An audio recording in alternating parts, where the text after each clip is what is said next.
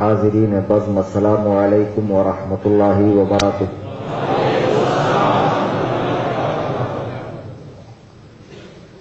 الحمد للہ الحمد للہ الحمد للہ القوی الرحمن، والصلاة والسلام على رسول اليمن والأمان وعلى آله وصحبه الذين هم كملة الإيمان. وعلى من تبعهم بإحسان، خصوصا على إمامنا الأعظم أبي حنيفة النعمان. وعلى غوثنا الأعظم خزائن العرفان وعلى معجزة الرسول الإمام أحمد رضا خان عليهم الرحمة والرضوان. قال الله تبارك وتعالى في القرآن المجيد والفرقان الحميد فأعوذ بالله من الشيطان الرجيم. بسم الله الرحمن الرحيم. ما كان محمد أبا أحد من رجالكم ولكن رسول الله وخاتم النبيين. عن أبي هريرة قال رسول الله صلى الله عليه وسلم فإني آخر الأنبياء وإني مسجدي آخر المساجد وإنا مسجدي آخر المساجد أو كما قال عليه الصلاة والسلام میرے نہایت قابل احترام، واجب الاحترام، تمام علماء اہل سنت و جماعت اور دور و دراز سے تشریف لائے میرے سنی، جنتی، حنفی بریلوی بھائیوں۔ آئیے ہم اور آپ انتہائی ادب و احترام سے آمینہ کے لال مالک اختار گنبد خزرہ میں آرام فرمانے والے آقا تاج دار ختم نبوت، حضور پرنور شاپع یوم النشور جناب احمد مشتبہ محمد مصطفیٰ۔ ارواحنا پدا صلی اللہ علیہ وسلم کی بارگاہ میں ہدیہ درود و سلام پیش کریں۔ اللہ صلی علیہ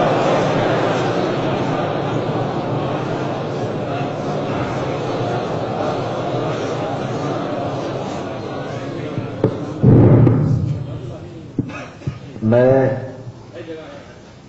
دس سال کے عرصے میں پونا کئی بار آیا، مختلف جگہوں پر میری تقریر ہوئی۔ لیکن یقین جانیے کہ اتنا بڑا مجمع پونے شہر میں مجھے پہلی بار ملا۔ اور وہ بھی ایسا بیدار مجمع۔ ہمارے جو میزبان ہیں، جناب تبریز بھائی، میں ان سے اکثر شکایت کرتا ہوں کہ پونا کا ماحول بہت شانت ہے۔ سات آٹھ بجے کے بعد لوگ سڑکوں پہ نظر نہیں آتے۔ اور ہم لوگ بہت کراؤڈ والے علاقے کے لوگ ہیں بمبئی کے۔ تو جتنی بار میں آیا، مجھے ہر بار مایوسی ہوئی۔ لیکن الحمدللہ اس بار آپ لوگوں کو دیکھ کر میرا جی باغ باغ ہو گیا۔ اور ویسے بھی میں نے میرا جو وطن معلوم ہے، وطن اقامت، وہ بمبئی ہے۔ اور میرا جو وطن اصلی ہے، میرا آبائی وطن، وہ بیر ضلع ہے مراٹھواڑا مہاراشٹر۔ میں اسی مہاراشٹر سے تعلق رکھتا ہوں، لیکن تعلیم و تعلم کا سلسلہ میرا یو پی سے ہے۔ اس لیے لوگوں کو زبان سے فرق نہیں معلوم پڑتا کہ یہ کہاں کے بہرحال، آج کی اس بزم کا جو میں نے ٹائٹل دیکھا، کل رات میں کولکٹا میں تھا، رات تقریباً دو بجے مجھے جناب تبریز بھائی نے فون کیا۔ اس وقت میں اسٹیج ہی پر تھا اور میرا اناؤنس ہو رہا تھا، اعلان ہو رہا تھا۔ جب مجھے معلوم پڑا کہ تاجدار ختم نبوت کانفرنس ہے، تو میں نے فوراً حامی بھر لی۔ حضرات انشاء اللہ الرحمان اسی موضوع کا لحاظ کرتے ہوئے میں پوری گفتگو کروں گا۔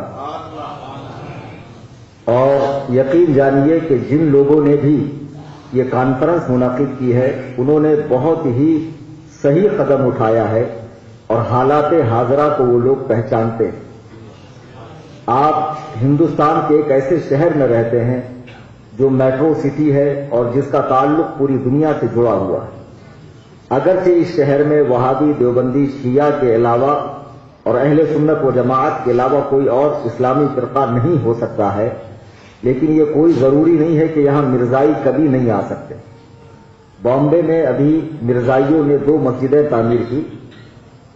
بامبے سے جو ملحق علاقے ہیں، متصل علاقے ہیں وہاں پر۔ تو اس میں بہت پڑھا لکھا آدمی تھا، اس سے میری ملاقات ہوئی، اس سے میں نے پوچھا کہ آپ مرزائی کیسے ہوئے؟ مرزائی یعنی مرزا غلام احمد قادیانی کے ماننے والے احمدی وہ اپنے آپ کو کہتے ہیں، احمدی مسلمان۔ تو ان سے میں نے پوچھا، آپ احمدی کیسے ہوئے؟ جبکہ آپ کیا لندن گئے تھے یا وہاں سے کوئی مربی نے آ کر آپ کی ذہن سازی کی کہ آپ قادیانی بنے؟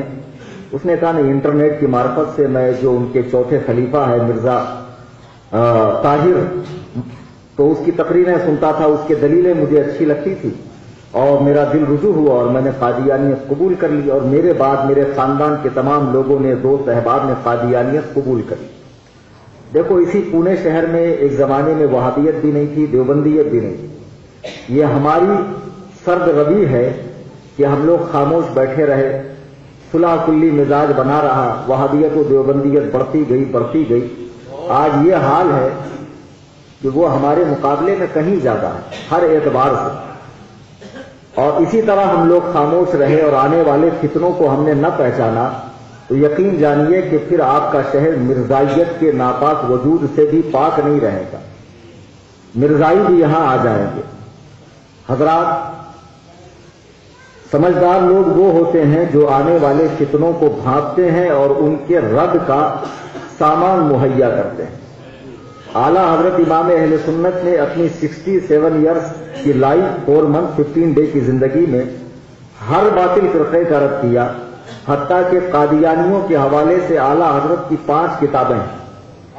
مرزا غلام احمد قادیانی کو سب سے پہلے کافر قرار دینے والے، سب سے پہلے کافر قرار دینے والے اعلیٰ حضرت۔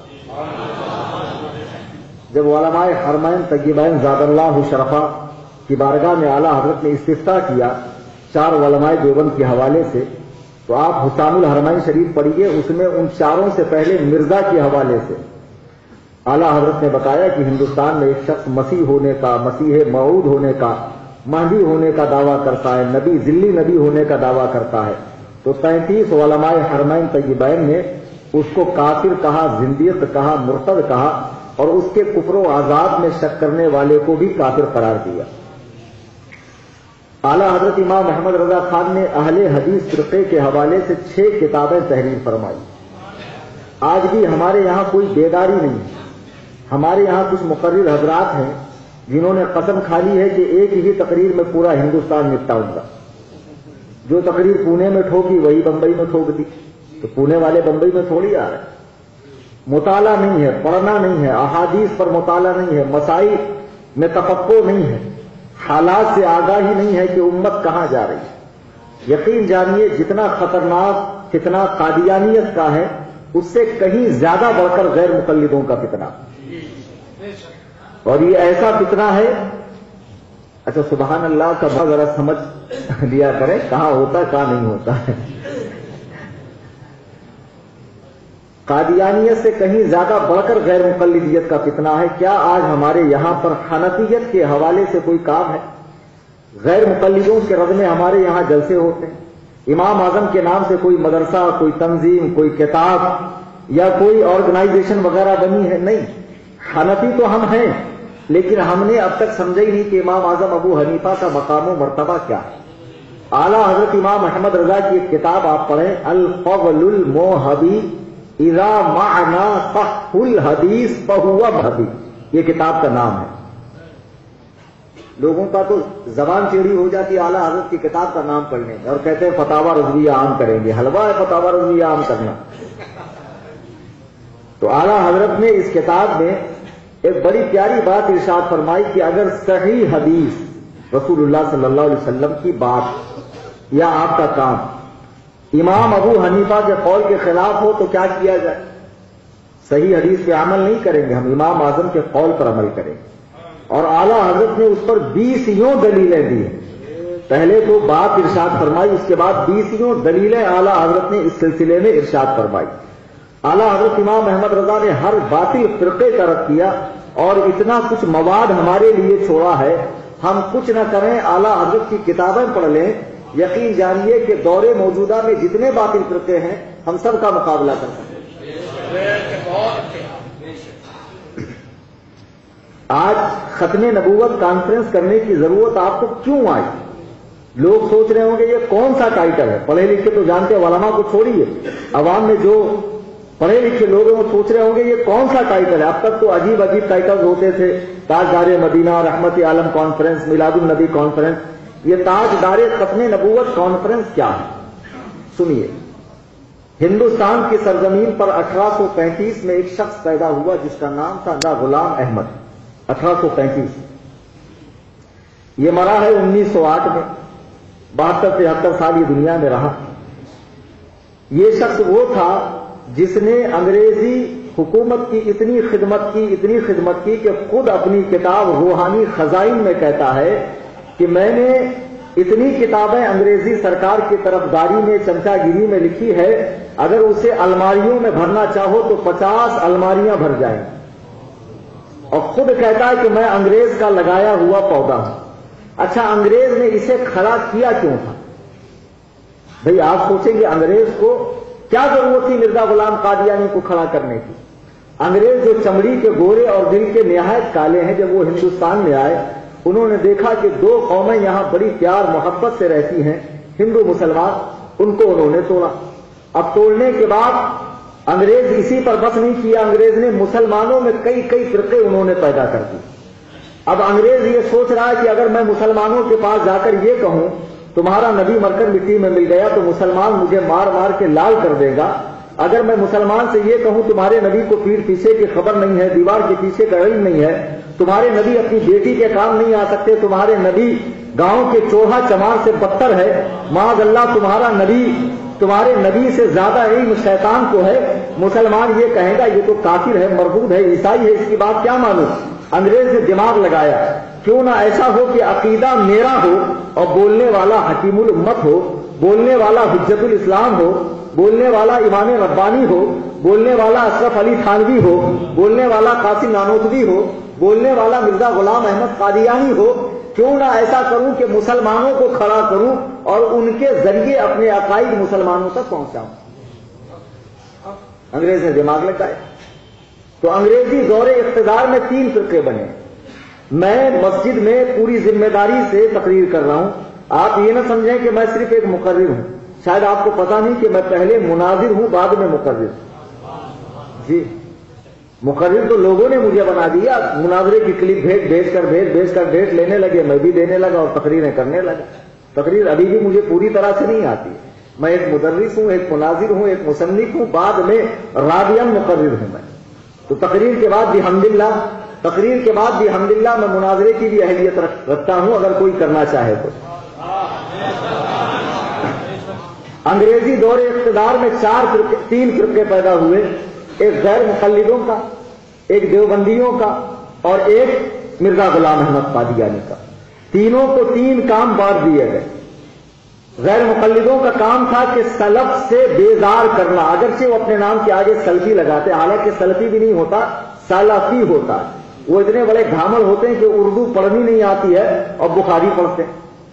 کل ایک غیر مقلد میرے سامنے آیا تو لفظ لکھا ہوا تھا، دور دور کریں۔ تو اب اردو میں زیر زبر تو ہوتا نہیں ہے۔ وہ گدہ الزی پڑھ رہا ہے، دور دور کریں۔ اب بتائیے، جن کو اردو پڑھنی نہیں آتی، ایسے لوگ بخاری، مسلم پڑھیں گے، قرآن پڑھیں گے، تو غزل ڈھائیں گے کہ نہیں ڈھائیں گے؟ اپنا بیڑا غرق کریں گے کہ نہیں کریں گے؟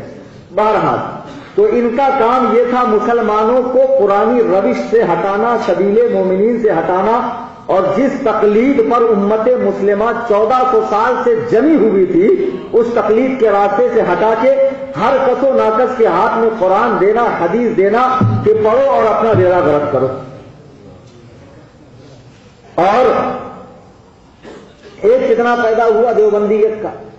تو انہوں نے اٹھارہ سو چھپن میں دارالعلوم دیوبند کی بنیاد رکھی گئی۔ یہ بات آپ وکی پیڈیا پر بھی دیکھ سکتے ہیں۔ اٹھارہ سو چھپن میں مغل امپائر نہیں تھے سلجوقی اقتدار نہیں تھا، تورانی اقتدار نہیں تھا، غزنوی اقتدار نہیں تھا، ساسانی اقتدار نہیں تھا۔ اور کوئی مسلمان کی حکومت نہیں تھی، اٹھارہ سو چھپن میں ہندوستان میں انگریزی حکومت تھی۔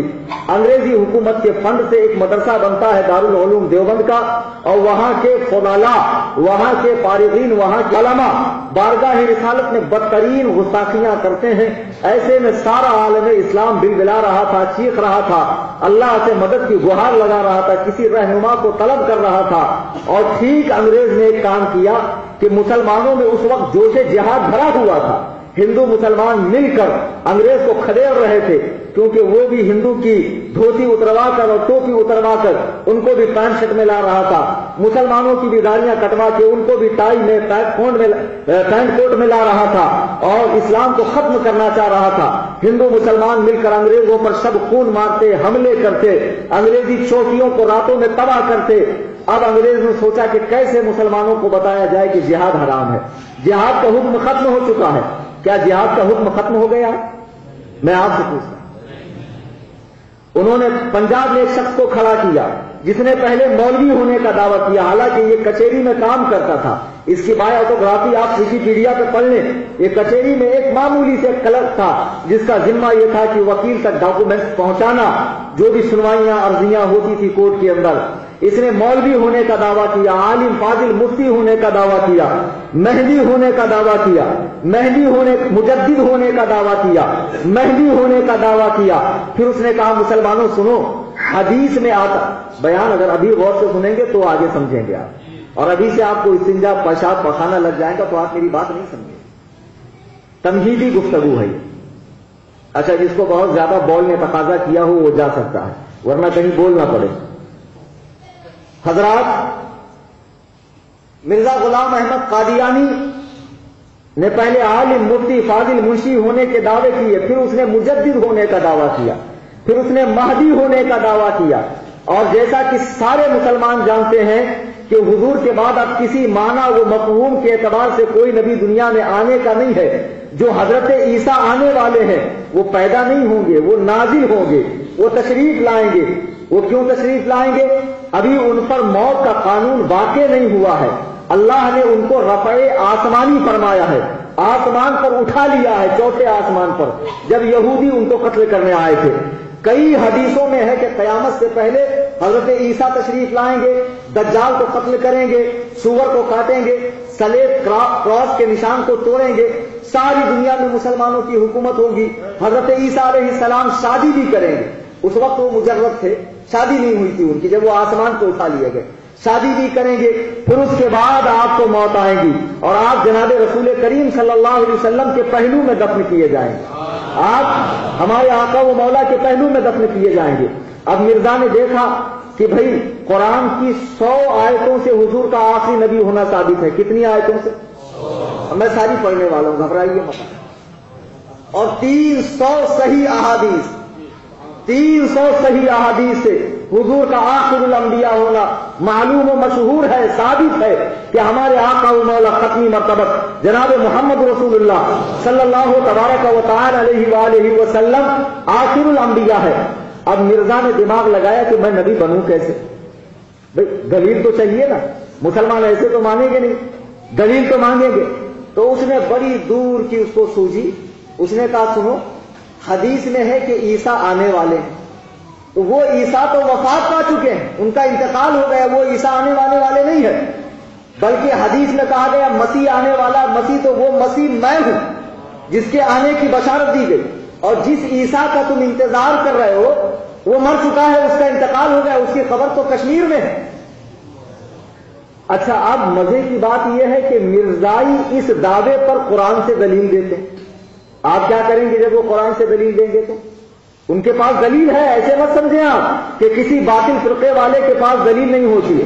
ہر باطل فرقے والے کے پاس اپنے جھوٹے دھرم کو بچانے کے لیے لنگڑی لولی ہی صحیح، دلیل ضرور ہوتی دلیل ضرور ہوتی ہے۔ اب وہ دلیل کا معیار کیا ہے یہ سمجھنا علماء کا کام ہے، آپ کا تھوڑا ہے، آپ کا کام نہیں ہے۔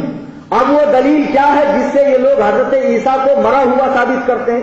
وہ دلیل بھی میں آپ کو دے دوں اور اس کا جواب بھی میں آپ کو دے دوں جو اس سے پہلے کسی عالم سے بھی آپ نے سنا نہیں ہوگا۔ میری ایک صاحب سے سوشل میڈیا پر، لندن کے اندر جو ان کا قصر خلافت ہے، مسجد الفضل۔ وہاں ان کا ایک مربی ہے لوگ اپنے عالم کو مربی بولتے ہیں، قادیانی۔ اس سے میری ڈبیٹ ہو رہی تھی چیٹ کے تھرو سے۔ تو اس نے کہا، مولانا کس عیسا کا انتظار آپ کر رہے ہیں۔ عیسا بن مریم تو مر چکا ہے، وہ ان کی جگہ تو ہمارے مسیح معود مرزا غلام احمد قادیانی آ گئے۔ تو میں نے کہا، بھائی، حضرت عیسیٰ کے مرنے کی دلیل کیا ہے کہ ان کے اوپر موت کا قانون واقع ہو گیا؟ بولے، قرآن کی آیت ہے، دیکھو، قرآن کی آیت ہے۔ انی متوفی کا وہ رات اذ قال اللہ یا عیسیٰ انی متوفی کا وہ رات حفاظ یہاں بیٹھے ان سے آپ پوچھیں اللہ نے فرمایا، انی متوفی کا بے شک میں تجھے وفات دوں گا وہ رات اور پھر اپنی طرف اٹھاؤں گا. آپ لوگ کیسے کہتے ہو کہ حضرت عیسیٰ زندہ اٹھائے گئے؟ جبکہ قرآن کہہ رہا ہے کہ اللہ نے انہیں موت دی ہے اور موت کے بعد انہیں اٹھایا ہے۔ مولانا ایسے نہیں اٹھایا جاتا، پہلے موت دی جاتی ہے، پھر اٹھایا جاتا ہے۔ تو میں بھی ایک لمحے کے لیے سردر رہ گیا۔ پھر میں نے اپنے دھیان کو اپنے پیر و مرشد سرکار تاجو سریا کی بارگاہ میں لگایا اور ان سے ہوتا ہوا سرکار مفتی اعظم اعلیٰ حضرت غوث اعظم اور پیارے آقا امام اعظم اور جناب قدمی مرتبت کی بارگاہ میں لگایا۔ فوراً ایک جواب مجھے القا ہوا۔ میں نے کہا گلہ النزی خرجماغ بیدال کے بدم چوکت گھامر اقبس الناس متفر نا تحقیق خارج البشر بل آدمیہ بل انسانیہ بل حیوانیہ کیا سمجھے آپ لوگ؟ سب عربی فارسی کی ہے۔ آج کل ڈائریکٹ ڈائریکٹ ہندی میں نہیں بول سکتے پبلک بہت ہوشیار ہو گئی۔ بولتی مولانا، گالی نہیں ہے بھیا، گولی ہے۔ حضرات، میں نے اس سے کہا دے کہ یہ قرآن کا اسلوب ہے کہ اس نے جو لفظ پہلے بیان کیا ہے حقیقت میں وہ بعد والا تھا۔ اور جو بعد والا ہے، وہ پہلے والا تھا۔ یہ قرآن کا اسلوب ہے۔ اس نے کہا، مولانا دلیل دو۔ تو میں نے بھی دلیل دی قرآن سے۔ قرآن کہتا ہے وس جدی ور قرآن کیا کہتا؟ وس جدی ور سجدہ کرو رکو کرو۔ آپ پہلے کیا کرتے؟ لیکن قرآن تو کہہ رہا وس جدی ور سجدہ کرو رکو کرو۔ تو کہنے لگا، مولانا، اصل میں سجدہ پہلے نہیں ہوتا ہے، پہلے رکو ہوتا پھر سجدہ تو میں نے کہا، لیکن اللہ نے تو پہلے سجدے کا بیان فرمایا. اسی طریقے سے اللہ نے جو فرمایا، انی متوقع کا وہ رات اس کا مطلب یہ ہے کہ میں تجھے پہلے اپنی طرف اٹھاؤں گا، پھر دنیا میں بھیجوں گا، پھر متوقع کا، پھر تجھے وفات دوں گا۔ اللہ نے متوقع کا کو پہلے بیان فرمایا، لیکن حقیقت میں وہ بعد والا لفظ تھا۔ جیسے وہ جدی بعد والا تھا، اسے پہلے بیان فرما دیا۔ بہرحال مرزائیوں کے پاس بھی لنگڑی، لولی، دلیلیں صحیح لیکن دلیلیں ہوتی ضرور ہے آپ ان سے بات نہیں کر سکتے ہیں۔ مرزا غلام احمد قادیانی نے پھر عیسیٰ بن مریم ہونے کا دعویٰ کیا۔ پھر اس نے مثل ذلی نبی ہونے کا دعویٰ کیا، بروزی نبی ہونے کا دعویٰ کیا، عطائی نبی ہونے کا دعویٰ کیا۔ پھر اس نے شنکر ہونے کا دعویٰ کیا۔ نہ جانے کتنے دعوے کیے۔ ایک جگہ تو یہ بھی دعویٰ کیا کہ میں حاملہ ہوں۔ مجھے دو سال کا حمل ہے، مجھے حیض آتا ہے۔ اللہ نے دو سال میرے ساتھ معذ اللہ گپ شپ کی ہے۔ اس کے کئی ساری بکواسات اس کے کتاب میں۔ ایک بات اچھے سے سن لیں آپ۔ کسی بھی قادیانی سے آپ کو بات کرنی ہے تو حضور آخری نبی ہے یا نہیں ہے، اس پر بات مت کرنا۔ آپ کو ایک نقطہ دے رہا ہوں۔ بد مذہبوں سے بات کرتے کیسے؟ کسی بھی قادیانی سے آپ کو بحث کرنی ہو تو آپ اس پر بات مت کرو کہ حضور آخری نبی ہے یا نہیں۔ ارے وہ تو چھوڑ۔ ہمارا تو خون کا قطرہ قطرہ کہتا ہے کہ آمنا کے لال کے بعد، عبداللہ کے گرے یتیم کے بعد، بتہائی پیغمبر کے بعد تاجدار ختم نبوت کے بعد آپ ختم آپ کرسی نبوت پر دوسرا کوئی بیٹھ ہی نہیں سکتا ہے۔ یہ تو ہمارا عقیدہ ہے۔ جب بھی آپ کسی مرزائی سے بات کریں، مرزا کے کیریکٹر پر بات کریں، وہ مرزا کے کیریکٹر پر بات کرنے کے لیے راضی ہوگا ہی۔ نہیں مرزا پر کے کیریکٹر پر بات کرنے کے لیے راضی ہوگا ہی نہیں۔ آپ اس سے ختم نبوت پر بعد میں بات کریں۔ پہلے مرزا کے کیریکٹر پر بات کریں۔ جو شخص وائن نام کی شراب پیتا ہو، جو دن میں سو سو بار پیشاب کرتا ہو، جس کا جو کہتا ہو ماض اللہ، مجھے حیض آتا ہے۔ میں مرد بھی ہوں، عورت بھی ہوں۔ اور جو اپن جس پر تین بھاشا میں وہی اترتی تھی، اور جو اپنی وہی ایک ہندو لڑکے سے لکھواتا تھا، جسے لکھنا بھی نہیں آتا تھا، جو کبھی مسجد میں جا کر جس نے با جماعت نماز نہیں پڑھی، جس نے کبھی زکات نہیں دی، جس نے کبھی ماں باپ کی اطاعت نہیں کی، جس نے ماں اللہ عورتوں کو پھانس پھانس کر ان سے نکے کیے، اگر ایسے ہی بدبخت کو نبی بنانا تھا، تو بتاؤ ابو بکر میں کیا کمی تھی، عمر میں کیا کمی تھی، عثمان و حیدر میں کیا کمی تھی؟ اللہ کے نبی فرماتے ہیں لوکان بادی نبی جن لکان عمر ابن خطاب اگر میرے بعد کوئی نبی ہوتا، تو عمر بن خطاب نبی ہوتا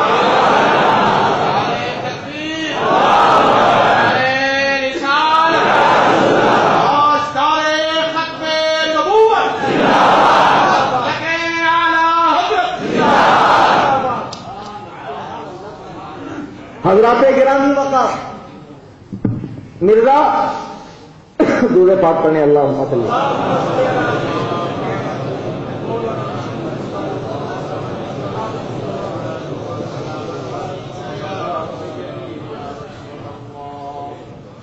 مرزا دھیرے دھیرے دعوے کرتا رہا۔ انگریز کو انگریز کو کرنا یہ تھا کہ مسلمانوں کے دماغ میں یہ بٹھانا کہ جہاد کا حکم ختم ہو گیا۔ اچھا ایک بات بتاؤ۔ مرزا مولوی ہو کر یہ کہتا، جہاد کا حکم ختم ہوا، کوئی مانتا؟ نہیں۔ مجدد ہو کر کہتا تو بھی کوئی نہیں مانتا۔ مرزا نے سوچا کیوں نہ میں نبی بن کر یہ بات کہوں۔ اس لیے کہ جو نبی کی نہیں مانے گا وہ کافر۔ بھائی نبی کی نہیں ماننے والا تو کافر ہے۔ تو مرزا نے ڈائریکٹ نبوت پہ چھلانگ لگا دی۔ تخت نبوت پر بیٹھ گیا۔ اور بیٹھنے کے بعد کہا، سنو، میں جو جہاد کو حرام کہتا ہوں وہ مولوی کی حیثیت سے نہیں، نبی کی حیثیت سے کہتا ہوں۔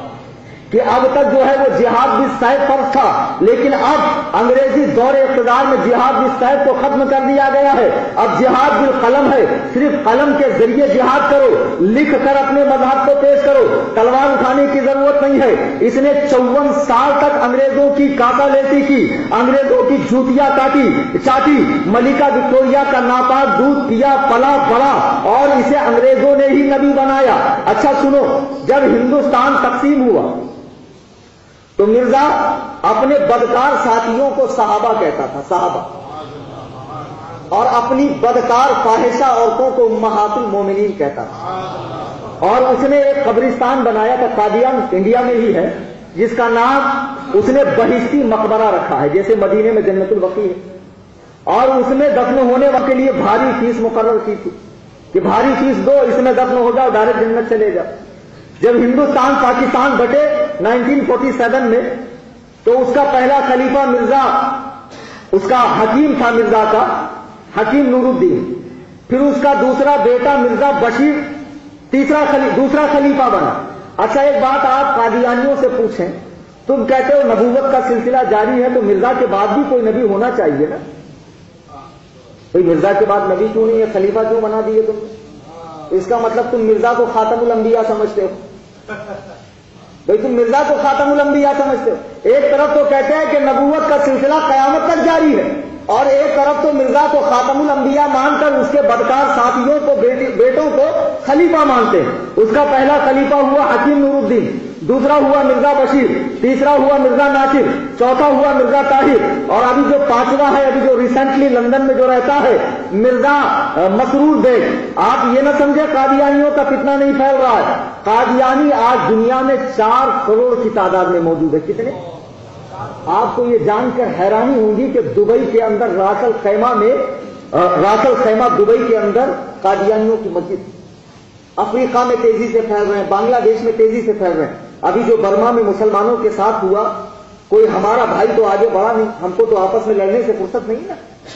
یہ قادیانی وہاں گئے، وہاں انہوں نے راشن دیا، پانی دیا، کپڑا دیا، بیس ہزار لوگوں کو انہوں نے کنورٹ کیا۔ تمہارا کلیجہ نہیں چلتا کہ رسول اللہ کی امت جو ہے، ایسے فرقوں میں بٹ رہی اور ایسے فرقوں میں جو زندگی ہے بدترین کافر بدترین کافر۔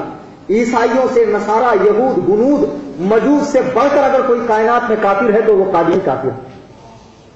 بہرحال، اس کا تیسرا جو بیٹا تھا وہ چلا گیا پاکستان۔ اس کا جو تیسرا خلیفہ تھا، دوسرا خلیفہ مرزا بشیر، وہ پاکستان چلا گیا۔ وہاں اس نے ایک زمین خریدی جس کا نام تھا، میں اس کانفرنس کو سمجھا رہا ہوں، تمہید کے ذریعے۔ وہاں اس نے ایک زمین خریدی جس کا نام تھا چناب نگر۔ اس نے بدل کے اس کا نام ربوا رکھا۔ ربوا قرآن کے اندر لفظ ہے، اس کے معنی ہے اونچی جگہ کی۔ وہ لفظ قرآن میں ہے۔ جہاں حضرت عیسیٰ اور ان کی ماں رہتی تھی۔ اب اس نے اپنی چناد نگر کو ربوا نام رکھا۔ وہاں بھی اس نے ایک بہشتی مقبرہ بنایا۔ پھر انیس سو چوہتر میں پاکستان میں تمام مسلک کے لوگوں نے، خاص طور سے علماء، اہل سنت و جماعت نے حکومت پاکستان پر پریشر ڈالا کہ اے حکومت پاکستان، تم قادیانیوں کو لیت قرار دو، غیر مسلم قرار دو، وہ اپنے پوجا گھر کو مسجد نہیں کہہ سکتے ہیں، اپنی پوجا پاٹ کو نماز نہیں کہہ سکتے ہیں۔ تو وہاں کے تمام پاکستانی حکمرانوں نے، علماء نے، تمام مسالک کے لوگوں نے جب کوشش کی تو قادیانیوں کو غیر مسلم قرار دیا گیا اور قادیانیوں کو ملک سے بھگانے کا انتظام کیا گیا۔ اچھا مسلمانوں، سوچو، مرزا غلام قادیانی کہتا میں دنیا میں اللہ کی حکومت قائم کرنے کے لیے آیا ہوں۔ ذرا بتاؤ، دنیا میں ایک بالش تو چھوڑو، ایک انگل کی بھی کہیں اسلامی حکومت قائم کی انہوں نے؟ ایک انگل کی ایک اسلامی حکومت کہیں قائم کی؟ جب پاکستان نے ان کو بھگایا تو سعودی نے پناہ نہیں دی، دوہا مسکت بحرین نے ان کو پناہ نہیں دی، ان کو شام نے، حلب نے، مصر نے، اردن نے پناہ نہیں دی، ان کو افغانستان، عراق، ایران نے پناہ نہیں دی۔ یہ بھاگ کر کہاں گئے؟ دیکھو، مولانا کو معلوم، آپ کو نہیں معلوم، کہاں گئے؟ اچھا بھائی، جب آپ کا فرقہ اسلامی اور آپ خالص مسلمان، فرقہ ناجیہ، آپ ترہتر میں ہیں، باقی سب بہتر کے اندر ہے تو آپ کو لندن نے پناہ کیوں دی؟ کسی اسلامی ملک نے پناہ کیوں نہیں دی؟ تو سنو، انہوں نے اپنے ابا سے گوہار لگائی، ابا بنایا بھی تو آپ ہی نے تھا ہندوستان میں۔ اب بھگا رہے ہیں تو پناہ دے دیجیے تو لندن نے ان کو پناہ دی۔ پہنچی وہیں پہ خاص جہاں کا خمیر تھا۔ پہنچی وہیں پہ خاص جہاں کا خمیر تھا۔ یہ لوگ لندن گئے۔ انہوں نے مسجد الفضل بنائی قصر خلافت قائم کیا۔ آج ان کا باقاعدہ ایک ٹی وی چینل ہے، ایم پی اے۔ اور کئی سارے پروڈکٹ ان کے ہیں۔ پلے اسٹور میں بہت سارے اپلیکیشن قادیانیوں کے ہیں۔ مسلمانوں، جاگ جاؤ، ہوشیار ہو جاؤ، علماء سے جڑ جاؤ۔ کون سی کتاب پڑھنی چاہیے؟ کون سی کتاب نہیں پڑھنی چاہیے؟ کون سا بیان سننا چاہیے؟ کون سا نہیں سننا چاہیے؟ علماء سے معلوم کریں۔ آج کہنے کو تو سننی ہے، لیکن موبائل میں ڈاکٹر جوکر نائک کی کلپ ہے۔ موبائل کے اندر پاکستان کے تاریخ زلیل کی کلپ ہے۔ وہ فیض ایڈوکیٹ کی کلپ ہے، عمران برادر کی کلپ ہے۔ وہ توفیق الشیطان، وہ جھاپک دھوا داڑھی رکھنے والا اس کی کلپ ہے۔ ایسے لوگوں کی کلپ آپ سن رہے ہیں۔ میرے بزرگوں اور دوستوں ولما سے جڑیے اور ولما سے معلوم کیجیے کیا سننا ہے، کیا نہیں سننا ہے۔ بہرحال، اب یہ لندن بھاگ گئے اور وہاں سے پوری دنیا میں یہ کام کرنے لگے۔ اب جب ان کو پاکستان میں غیر مسلم قرار دیا گیا تو اچانک پاکستان میں چھ نومبر کو علماء اہل سنت نے دھرنا دیا کیوں یہ تو غیر مسلم قرار دیے جا چکے تھے۔ ہوا یوں کہ پاکستان بھی کوئی خالص اسلامی ملک نہیں ہے۔ میں خود بھی ٹو تھاؤزینڈ ٹویلو کے اندر پاکستان ایک مہینہ رہا ہوں اور میں نے وہاں کے سارے حالات دیکھ لیے۔ اللہ کا شکر مناؤ کہ ہم لوگ ہندوستان میں میں حقیقت کر یہ ہٹاؤ۔ بی جے پی بی جے پی یہ تو چلی جائیں گی سال ڈیڑھ سال کے اندر۔ پھر نہیں آئیں گی انشاءاللہ۔ ہندوستان جیسا سکون، ایسی آزادی، ایسے وادیوں کو چیرنا، پھاڑنا پاکستان میں پاسبل نہیں بھائی صاحب۔ ہاں؟ وہاں تو سیدھا وہ لشکر طبلہ اور کون کون سے ہیں؟ وہاں جو جہادی تنظیمیں ہیں، وہ جماعت دھوکا یہ بم لگا کے علماء کو اڑا دیتے ہیں۔ وہاں اتنی آزادی نہیں ہے رد وادیا کرنے میں رد کر رہا تھا تو ایک پاکستانی عالم نے مجھ سے کہا، مولانا، یہ پاکستان ہے، ہندوستان نہیں۔ ارے، ہم نے کہا، کچھ بھی ہو، سب ہوں، عبید رضوی میں غوث و رضا کا۔ آگے سے میرے بھاگتے ہیں شہر ببر وہ پاکستان ہو کہ قبرستان ہو؟ جہاں بھی جائیں، دشمن احمد پہ شدت کیجیے۔ ملک کی کیا مروت کیجیے۔ اب ہوا یوں کہ پاکستان میں کچھ لبرل ٹائپ کے لوگ، دانشور لوگ، آج کل لوگ زیادہ پڑھ لکھ لیتے ہیں، انگریزی تو دماغ خراب ہو جاتا ہے۔ خدا کا انکار کرتے ہیں۔ اب ایک اتنا بڑا گدہ الزی کار چلاتے چلاتے کہہ رہا مولانا دنیا اپنے آپ بنی۔ میں نے کہا دیکھ بیوقوف، یہ کار بھی تیرے چلائے بغیر نہیں چل رہی ہو، تو کہہ رہا دنیا اپنے آپ بنی۔ گی زیادہ پڑھ لکھ لینے سے دماغ خراب ہوتا ہے لوگوں کا۔ کوئی لبرل بن رہا ہے، کوئی ملحد بن رہا ہے، کوئی ایتھسٹ بن رہا ہے، کوئی روشن خیال بن رہا ہے۔ کسی کو تین طلاق پسند نہیں آ رہا، کسی کو کچھ پسند نہیں آ رہا، کسی کو کچھ پسند نہیں آ رہا۔ تو ایسے ہی پاکستان میں کچھ لوگ قادیانیوں کے ہمدرد پیدا ہوئے۔ اور قادیانی وہاں بہت بڑا بڑا فنڈ جو ہے دیتے ہیں بڑے بڑے سیاسی لیڈران کو۔ تو وہاں کا ایک وزیر ہے، وزیر قانون، رانا ثناء اللہ اس نے وہاں کا جو قانون ہے کہ قادیانی غیر مسلم ہے، اس نے کہا اس قانون کو ختم کر دیا جائے اور سب کو برابری کا درجہ دیا جائے۔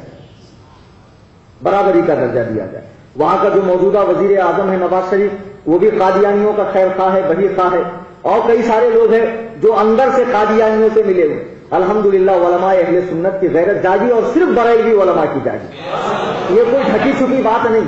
یہ دیوبندی بہت دعویٰ کرتے ہیں ختم نبوت پہ کام کرنے کا اور اس پر کام کرنے کا۔ کہاں مر گئے تھا تمہارا الیاس، گھمن، تاریخ زلیل اور وغیرہ وغیرہ۔ جب پاکستان کی سرزمین پہ علماء بریلوی نے دھرنا دیا چھ نومبر سے، کتنے؟ بیس، پچیس دن انہوں نے دھرنا دیا، سخت ٹھنڈ کی حالت میں اور حکومت سے منوا کر رہے۔ اب میں آپ کو بتانا بتانا یہ چاہ رہا ہوں کہ پاکستان جیسا دنیا کا واحد ملک پاکستان ہے، دنیا کا واحد ملک جہاں قادیانیوں کو غیر مسلم قرار دیا گیا۔ جب اس ملک کے اندر ان کے خیر خواہ پیدا ہو سکتے ہیں اور وہ لوگ موجود ہیں وہاں اور وہ اب نہیں تو آگے چل کے اس قانون کو ختم کرنے کی کوشش کریں گے، تو ہندوستان میں تو ڈیموکریسی ہے، یہاں تو ہر شخص کو اپنی بات کہنے کی آزادی ہے نا؟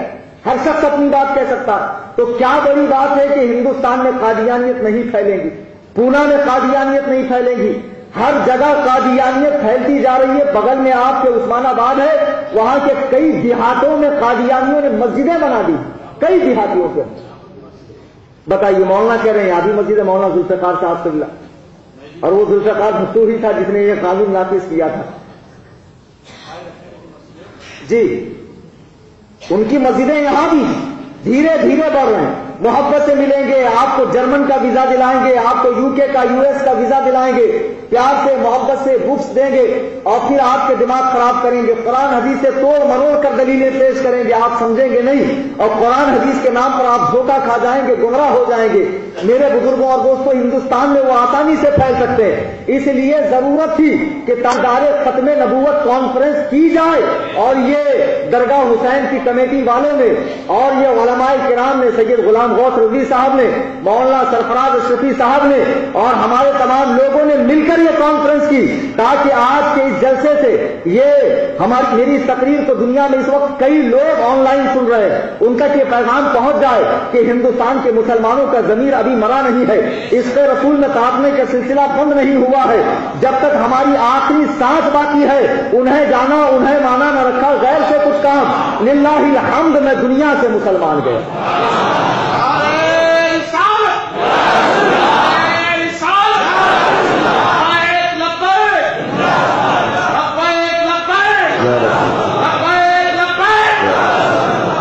حضرات، اس لیے یہ تاجدار ختم نبوت کانفرنس کی گئی۔ اب آئیے ختم نبوت کو سمجھ لیجیے۔ میں نے قرآن کریم کی جو آیت کریمہ پڑھی سورے جو خطبے کے بعد آیت کریمہ پڑھی، وہ سورہ احزاب کی آیت نمبر چالیس سورہ احزاب۔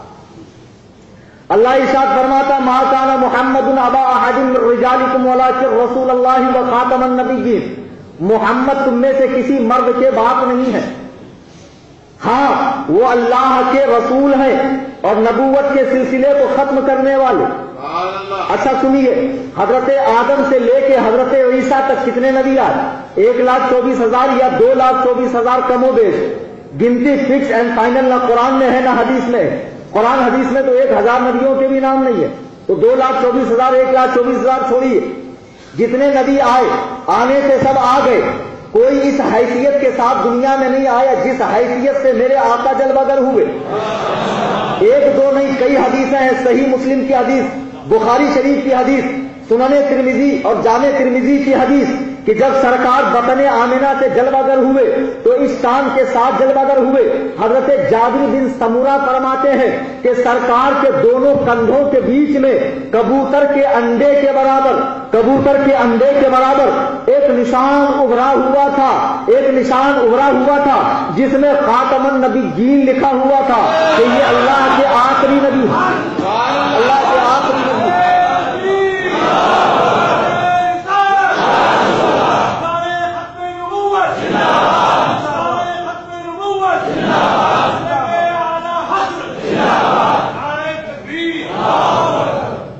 بیدار ہیں کہ بیدار ہیں آپ لوگ؟ اچھا ماشاء اللہ بیدار ہے بیدار رہیں۔ یہ خاموش مزاجی تمہیں جینے نہیں دیں گی اس دور میں جینا ہے تو کوحرام مچا دو۔ اور ایک مسئلہ اور بتا دوں اگر آپ یہ سمجھ رہے ہیں کہ صرف ناپ خانوں کو ہی نذرانہ دینا جائز ہے مقرر کو دینا بدت ہے تو یہ مسئلہ بالکل غلط ہے۔ مسئلے کی وضاحت میں کر رہا ہوں۔ اچھا حضرات گرامی سرکار تشریف لائے۔ وطن امینا سے دنیا آب و گل میں جلوہ گر ہوئے۔ تو ایک نشان ابھرا ہوا ہے اور جس پر یہ لکھا ہوا ہے خاتم النبی جی کہ آخری نبی ہے یہ مہر لگا دی۔ جتنے نبی سرکار سے پہلے آئے، کسی پر یہ مہر نہیں تھی، کسی پر یہ اسٹامپ اللہ نے لگایا نہیں تھا۔ ہمارے اور آپ کے آقا وہ مولا، ہمارے اور آپ کے پیارے نبی، نبیوں کے نبی، انبیاء کے امام، سردار انبیاء، پیشوائے انبیاء، نبی الانبیاء، آخر الانبیاء، جناب محمد رسول اللہ صلی اللہ تعالی علیہ وسلم کے پشت انور پہ یہ نشان تھا۔ سرکار کے پشت انور پہ یہ نشان موجود تھا۔ اور قرآن میں اللہ اشاد فرما رہا ہے کہ حضور آخری نبی ہے، خاتم النبی جیت آج سلسلہ نبوت کو ختم کرنے والے ہیں۔ اچھا یہ تو قرآن کریم کے سورہ آزاد کی آیت نمبر چالیس ہے۔ اب بخاری شریف کی ایک بڑی پیاری حدیث آپ سن لیں۔ بخاری شریف کون سے نمبر کی کتاب ہے؟ دوسرے نمبر کی، دو نمبر کی مت بولنا ہے دو نمبر الگ مانا کا لفظ ہوتا۔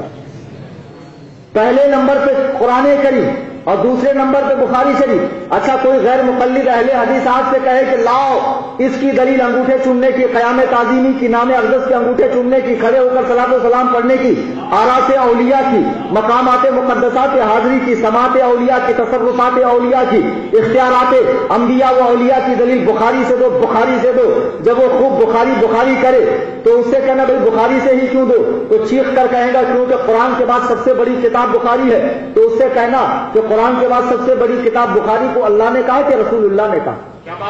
بھائی کس نے؟ تو کہیں گا نہیں، امت کے اجماع نے کہا۔ تو کہنا تو تو قرآن حدیث کے سوا کچھ مانتا نہیں، اب اجماع امت کو کیوں مان رہا تمہارے نزدیک تو قرآن حدیث کے علاوہ کوئی چیز دلیل نہیں۔ قرآن حدیث کے علاوہ کوئی چیز دلیل نہیں۔ اب بخاری کو کیسے تم نے دلیل مان لیا؟ ایک غیر مقلد میرے پاس آیا، مجھ سے تو روزانہ ٹکراتے۔ کیسے کیسے بے وقوف مجھے فون لگاتے دو ہی منٹ میں زلیل ہو کے فون کاٹ کے بھاگتے آیا بولا مولانا؟ دلیل دیجیے بخاری کی صحیح حدیث دکھائیے۔ تو میں نے کہا، میں صحیح حدیث بھی دکھاؤں گا تو تجھے کیسے معلوم وہ حدیث صحیح ہے؟ کہا، امام بخاری نے کہا صحیح حدیث ہے۔ تو میں نے کہا، وہ تو امام بخاری نے تحقیق کی، تب ان کو پتا چلا نا کہ یہ حدیث صحیح ہے۔ تو تو تو ان کی تقلید کر کے اس صحیح کو صحیح مان رہا تو نے خود، تو نے خود تحقیق کیا کہ یہ حدیث صحیح ہے۔ بھائی تم کہتے نا ہم لوگ تقلید نہیں کرتے، تحقیق کرتے۔ چل اس زمانے میں، دیکھو میں ایک سیدھی سیدھی بات بتا رہا ہوں۔ روٹیاں پکی ہے دسترخوان لگا، عزت سے کھاؤ، نئے سے پکانے کے چکر میں مت پڑو۔ کچھ الٹا ہی بنا دوں گے آپ لوگ سمجھو بزرگوں نے کام کیا ہے، تفسیریں لکھی ہے حدیث کی تشریحات لکھ دی ہے فقہ کی کتابیں لکھی ہے علماء سے مسئلہ معلوم کرو، چلو خود قرآن، حدیث پڑھ کے اپنا بیڑا غرق مت کرو اللہ کے بندو اچھا تم کو تحقیق کا کیڑا چاہتا نا کہ ہم تحقیق کریں گے۔ اور یقین مانیے اللہ کی قسم، میں خانہ خدا میں اللہ کی قسم یاد کر کے علماء کی موجودگی میں کہہ رہا ہوں، ایک عالم رسول کی موجودگی میں میں نے ایسے لوگوں کو دیکھا، سنیت سے نکل کر تبلیغی جماعت میں گیا، تکلیف جماعت میں۔ پھر تکلیف جماعت سے نکل کر اہل حدیث بنا، پھر وہیں تک محدود نہیں رہا، اہل قرآن بنا۔ پھر وہاں سے نکل کر قادیانی بنا اور آخر میں نصارہ یا یہودی یا نصرانی ہو کر بنا۔ اس لیے یک درگیر محکم گیر۔ اپنا مذہب مضبوطی سے پکڑو، کہیں ادھر ادھر دیکھنے کی ضرورت نہیں۔ گھوڑے گھوڑے کے ہاتھ سے دو پٹی کیوں لگاتے ہیں؟ تاکہ وہ گھوڑی دیکھ کے بچکے نہیں۔ سیدھا اپنے منزل پر نگاہ رکھتے دو پٹیاں لگا لو بس ہم کو ضرورت ہی نہیں کسی سے۔ اہل سنت و جماعت مسلک کے اعلیٰ حضرت ہمارے لیے کافی ہم کو ضرورت ہی نہیں کسی طرف جانے کی۔ اب میں نے اس غیر مخلص سے کہا، یہ کچھ جانتے وانتے نہیں، یہ صرف بقرات ہوتے خالی ان کو آئین اور قاف بہت گاڑا نکالنا آتا باقی یقین مانیے روئے زمین پہ ان سے بڑا حدیث کا دشمن اور ان سے بڑا جاہل کوئی نہیں ہے۔ جاہل کی کتنے قسمیں ہوتی معلوم آپ کو نہیں معلوم ہوگی آج میں بتاتا ہوں ایک ہوتا ہے جاہل۔ ایک ہوتا ہے جاہل مطلق، پورا کے پورا جاہل۔ ایک ہوتا ہے جاہل مطلق۔ ایک ہوتا ہے متعلق جس کو جہالت نے بھی تین طلاق دے دی۔ یہ چوتھے نمبر کے جاہل۔ میرے پاس آیا تھا، بخاری دکھاؤ بخاری دکھاؤ۔ تو میں نے کہا، دیکھ، بخاری کی یہ صحیح حدیث ہے۔ کہا میں نہیں، بخاری کی صحیح حدیث مانوں گا۔ تو میں نے کہا بھائی، وہ تو امام بخاری نے لکھا، یہ حدیث صحیح ہے، تو ان کی تحقیق ہے نا۔ تیری کہاں تحقیق؟ آج کے زمانے میں کوئی تحقیق کرنے بیٹھے تو ایک حدیث کی تحقیق کرنے کے لیے پچاس سال کی عمر گزر جائیں گی۔ یہ میں نے ان سے سنا، انہوں نے ان سے، انہوں نے ان سے یہ سلسلہ چودہ سو سال تک نبی سے ملانے کے لیے۔ پھر تحقیق ہونے کے بعد بھی یہ گارنٹی نہیں ہے کہ صحیح تحقیق ہوئی یا غلط ہوئی پچاس سال صرف ایک حدیث کی تحقیق میں گزر جائیں گی، عمل کب کرے گا؟ مرنے کے بعد۔ تو اس لیے بہتر ہے کہ جو بزرگوں نے تحقیق کیا ہے، بزرگوں پہ اعتماد کر کے وہ بڑے ہیں، وہ اللہ رسول کا زیادہ خوف رکھتے ہیں، وہ جھوٹ کیوں بولیں گے؟ اسی اعتماد کا نام تقلید ہے۔ اسی اعتماد کا نام کیا؟ اور یہ کیا جھوٹ بولتے ہیں ہم تقلید نہیں کرتے بخاری کی جتنی حدیثوں کو یہ کہتے ہیں، صحیح حدیث صحیح حدیث، تو تمہارے باپ نے تحقیق کی کہ وہ حدیث صحیح ہو؟ تو امام بخاری نے تحقیق کی ہے صحیح حدیث۔ وہ تو امام بخاری، تم تو ان کے مقلد ہو۔ مسلم کی جتنی حدیثوں کو تم صحیح کہتے ہو، تمہارے ابا جی نے تحقیق کی ہے۔ وہ تحقیق تو امام مسلم نے کی ہے۔ تم تو ان کی تحقیق پر آنکھ بن کر کے بھروسہ کر رہے ہو۔ بے وقوف ہو، ایک آخری بات سمجھ لو، جیسے علم حدیث میں محدثین کی تکلیف جائز ہے ایسے ہی علم فقہ میں فقہا کی تکلیف جائز ہے۔ یہ نقطہ میں علماء کو دے رہا تھا۔ القصہ مختصر یہ کہ بخاری شریف قرآن کریم کے بعد دوسرے نمبر کی کتاب ہے۔ اس کو اہل حدیث بھی مانتے، قادیانی بھی مانتے ہیں دیوبندی بھی مانتے، ہم تو الحمدللہ مانتے بھی ہیں، جانتے بھی ہیں، چلتے بھی ہیں۔ اچھا جو لوگ بخاری بخاری کرتے نا، بخاری میں دکھا ان سے کسی دن بخاری کا پورا نام ہی پوچھ لو آپ۔ بخاری کا صحیح نام آپ کو معلوم اس کا نام بخاری ہے ہی نہیں۔ بخاری تو اس کو ہم اور آپ لوگ کہتے ہیں، اس وجہ سے کہ امام بخاری نے لکھا۔ اس کا پورا نام میں آپ کو بتا دیتا ہوں، یاد کر لیں۔ امام بخاری نے اس کتاب کو سولہ سال میں لکھا، سولہ سال۔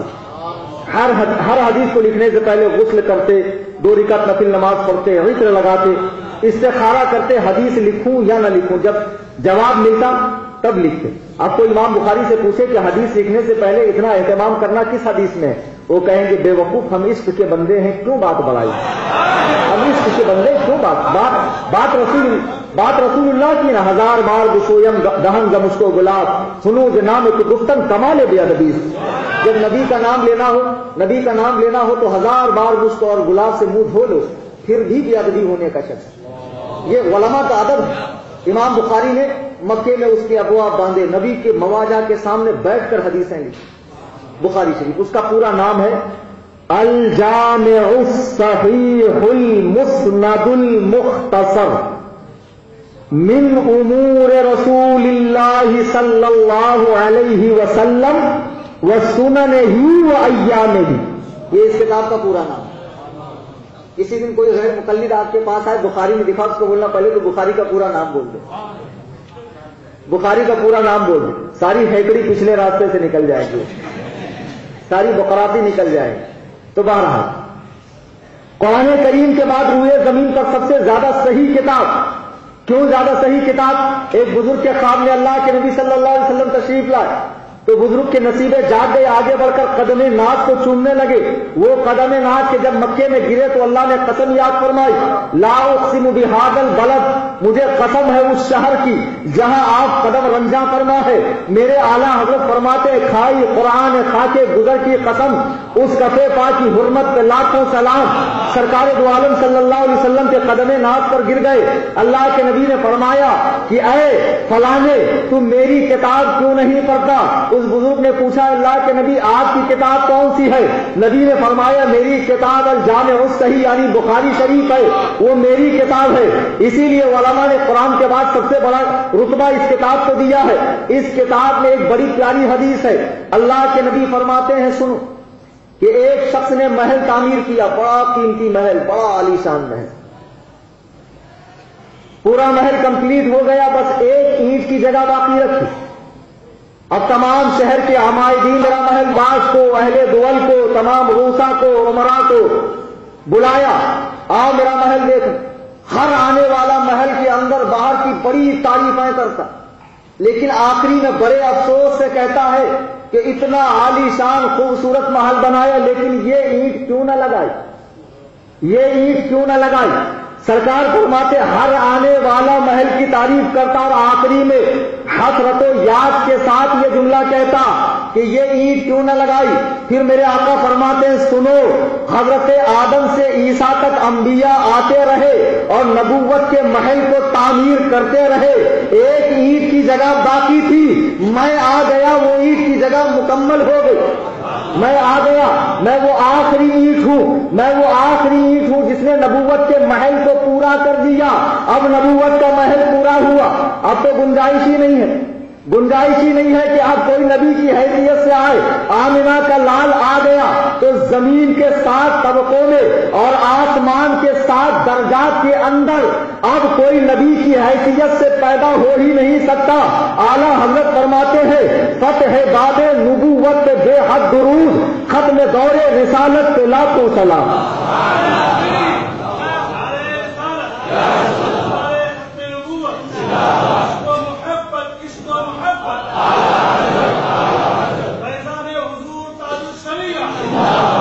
سر۔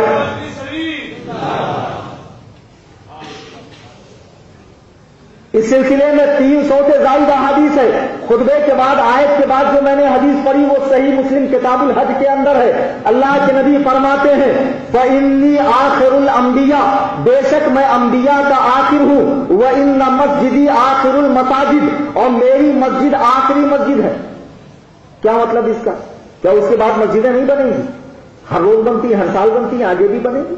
اس کا مطلب یہ ہے کہ مسجد نبوی وہ مسجد ہے جسے نبی نے بنایا۔ تو سرکار فرماتے ہیں، دنیا میں ایسی کوئی مسجد نہیں جسے نبی بنائے۔ یعنی نبی آ ہی نہیں سکتا تو مسجد بنائے گا کہاں سے؟ حضور فرماتے ہیں، میں انبیاء کا آخر ہوں فینی آخر الانبیاء وہ ان مسجدی آخر المساجد، کہ میری مسجد آخری مسجد ہے۔ اور اسی مسلم شریف میں نبی فرماتے ہیں انا آخر الانبیاء وہ ان تم آخر الامم، کہ میں نبیوں کا آخر ہوں اور تم امتوں کے آخر ہو۔ تمہارے بعد کوئی امت نہیں۔ الحمدللہ ہمیں فخر ہے کہ ہم آخر الامم ہے ہم آخر الامم ہے نبی فرماتے، میں آخر الانبیاء، تم آخر الامم۔ مجھ پر جو کتاب اتاری گئی، وہ آخر الکتاب۔ مجھے جو دین دیا گیا، وہ آخر الادیان۔ یعنی سرکار ہر اعتبار سے آخری ہے۔ اچھا اب اس معنی کو اور سمجھ لیں۔ جب سرکار نے فرمایا کہ میں محل نبوت کی آخری اینٹ ہوں، میرے بعد کوئی نبی نہیں۔ تو پھر نبوت کا دروازہ کھولا کس نے؟ اس کے اس محل میں مرزا گھسا کیسے؟ اگر اس بات کو آپ نے سمجھ لیا تو سارے مسئلے حل۔ کیونکہ پونا اور میں جانتا ہوں میں خود بھی مہاراشٹر کا ہوں، تو ہمارے یہاں سلح کلیت کا بول بالا لوگ زیادہ پنگے لینا نہیں چاہتے۔ کیونکہ کہیں نہ کہیں اٹکے ہیں، کہیں نہ کہیں پھنسے کہیں بیٹی دے کے، کہیں بیٹی لے کر۔ کہیں کسی کا کھا کر۔ شرمندے کیا کریں؟ مولانا کا تو کام ہی یہ ہے، یو پی بہار سے آتے، ہم کو لڑا کے جاتے۔ مولانا یو پی بہار سے آ کے کیا کرتے ہم کو لڑا کے جاتے اچھا ایک بات بتاؤ جو یو پی بہار سے آتے ہیں، جو یو پی بہار سے آتے وہ برا کس کو بولتے تھانوی کو، نانوتوی کو، گنگوہی کو۔ وہ پونے کے تھے وہ لوگ؟ وہ کہاں کے تھے؟ ارے، وہ بھی تو یو پی بہار کے تھے۔ تو یو پی بہار والے آتے یو پی بہار والوں کو بولتے تمہارے پیٹ میں کیوں دکھ رہا اچھا چلو، باہر والے نہیں بول سکتے، اندر والا تو بول سکتا نا۔ میں تو اندر کا ہوں، مہاراشٹر کا ہوں۔ بڑی سلح کلیت لوگوں میں ہو گئی۔ آپ تھوڑا سا ہمارے علاقے میں چلے جائیں، ہمارے علاقے کی زبان بہت رف ہے بیڑ گریا، پڑیا، مریا، سٹیا۔ بہت رف زبان۔ آپ جانتے ہوں گے۔ ہمارے یہاں ایک لوٹا پیر ہے۔ لوٹا پیر بھی ہوتا ہے ٹھامک ٹوئیاں پیر، لوٹا پیر اڑیا پیر، گڑیا پیر، چٹیا پیر۔ ارے، آج کل پیر لوگ بھی کم ہیں کیا؟ تو وہ اس قسم کی تعلیم دیتے اپنے کو کیا کرنے کا یا کھاندے کو برا بول کے؟ ہاں؟ کسی ایک انگلی دکھائے تو اپنے کو کتنے دستے؟ تین دستے۔ کتنے دستے؟ یہ میرے یہاں کی زبان ہے مراٹھواڑے اپنے صابن سے دوسرے کے کپڑے کا ہی دھونے کا۔ اسے برا بولے تک اللہ اللہ کرنا درود شریف پڑھنا یا خاندے کا کو برا بولنا۔ ہمیں صبح اٹھے تمہارا منہ دیکھتے تمہیں ہمارا منہ دیکھتے ہمارے خبر میں آتا کہ مولانا آئیں گا مولانا ہماری خبر میں۔ ایسے چکنے چپڑے باتا کر کے، ایسے میٹھے میٹھے باتا کر کے پیٹ میں تو پانی نہیں ہلن دیتے۔ اور ایسا گلے کو لگیں گے، ایسا پیٹ کو لگیں گے جیسا کتنا بڑا تیرا ہمدر رہی گے ہاں؟ آپ ہاؤ ہاں جی صحیح بات کریں تو آپ نے کیا کرنے کا؟ چار دن کی زندگی ہے، جہاں ٹرین ملے، وہاں جا کے سر پٹکنے کا۔ جمعہ کو تو نماز پڑھتے اپن کون سا روز؟ صبح شام نماز پڑھتے کون سا روز؟ آپ لوگ کیا کرنے کا؟ تو اس قسم کی باتیں کر کر کے سلح کلیت کا ماحول بپا کیا جائے۔ اور لوگ پھر جماعتوں میں جا رہے ہیں۔ پھر ماشاءاللہ پہلے کیا کرتا تھا؟ پہلے ماں باپ کو کٹتا تھا انہیں۔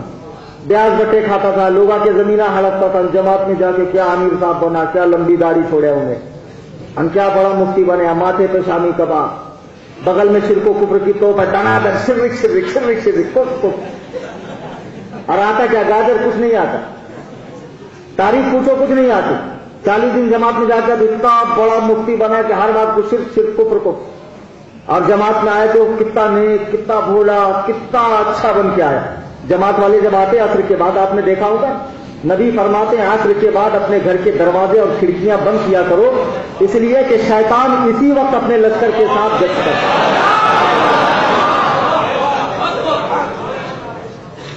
زیادہ بابا مت کرو، میری آخری جملے دب جاتے ہیں اس میں، آخری الفاظ دب جاتے ہیں۔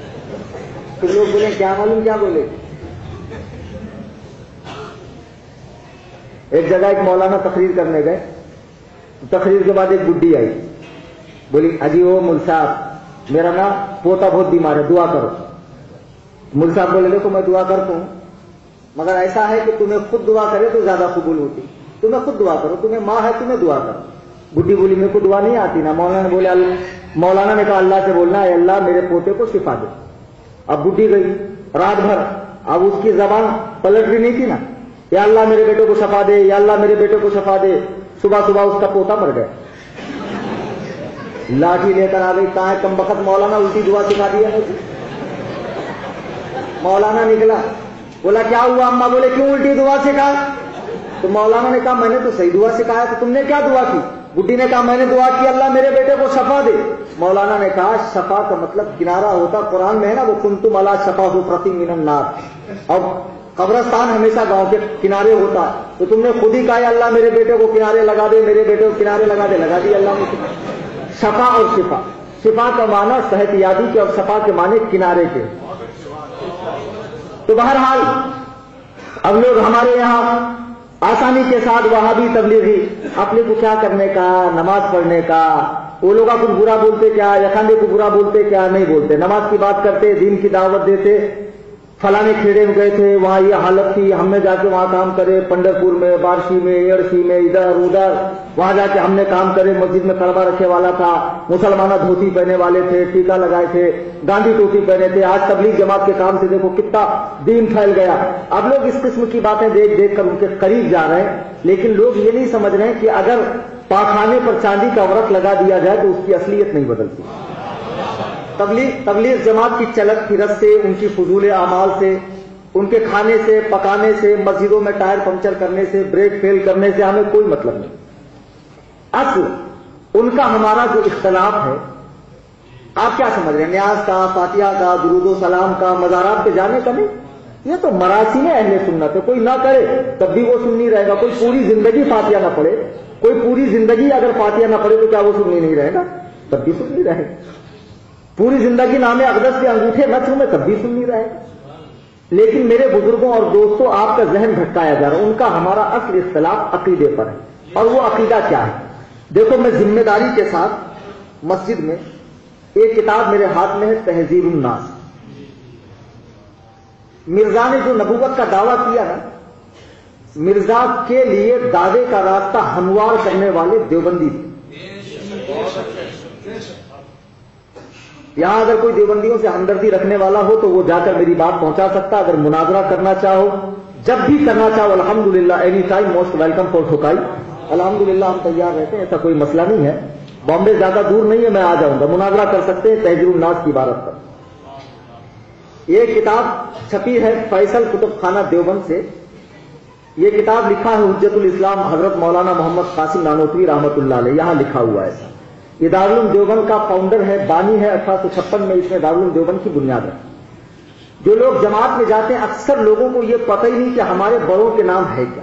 وہ لوگ بتاتے ہی نہیں۔ ان کو معلوم جب ایسی کام نہیں کر رہا یہ بندہ ایسی ہمارا بندہ تو اس کو آگے تک لے کے جانے کا کیوں؟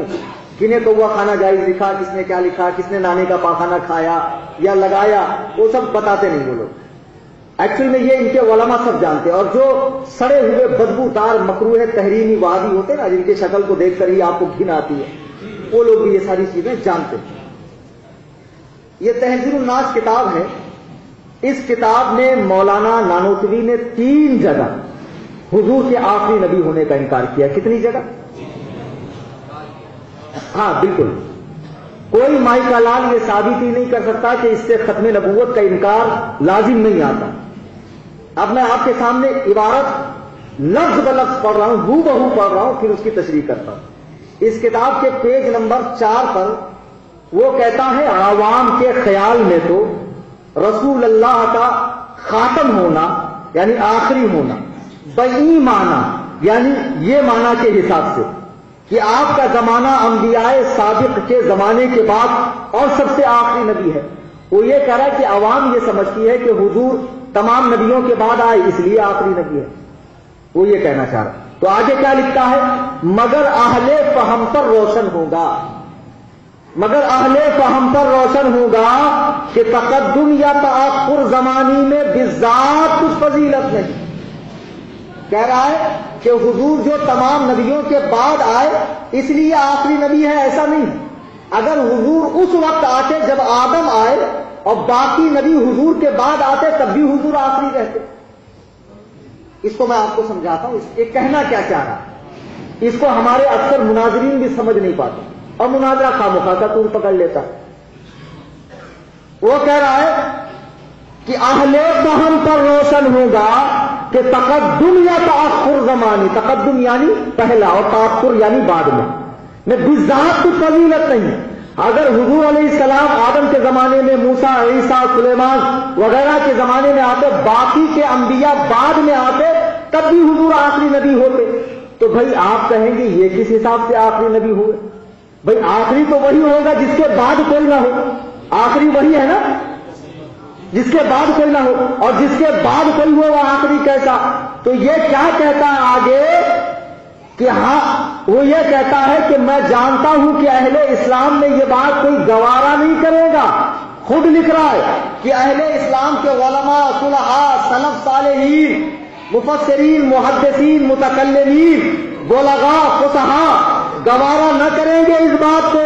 وہ کہتا کہ حضور اگر پہلے بھی آتے تو آخری نبی ہوتے کیوں؟ حضور صرف مرتبے کے لحاظ سے آخری۔